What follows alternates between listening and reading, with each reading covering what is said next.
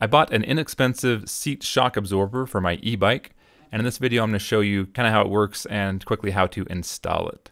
So this is the exact one that I bought. Um, there's lots of different ones like this, and this is not like a sponsored video, so uh, it comes with the tools to do it. In this case, it's just an Allen wrench, and then on the bottom of the seat, it has some metal bars that you can hook it to.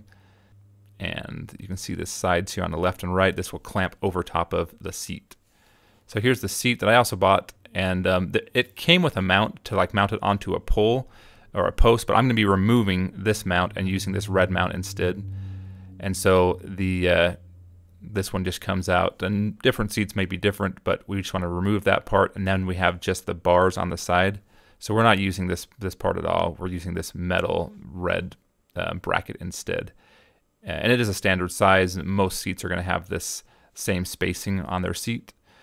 So we'll just push this in here and then thread that through and just these two bolts uh, hold everything together. And then the actual seat tube has a spring inside of it and that absorbs the shock.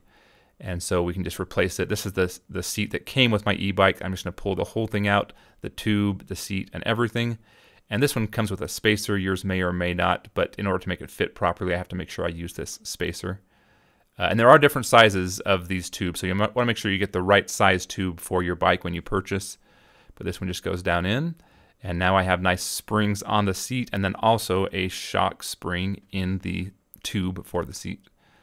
This is just a very cheap way to add a little extra shock absorption to your seat. Hopefully you found this video informative. Go ahead and leave your questions and comments below if you have any, and I look forward to catching you in the next video.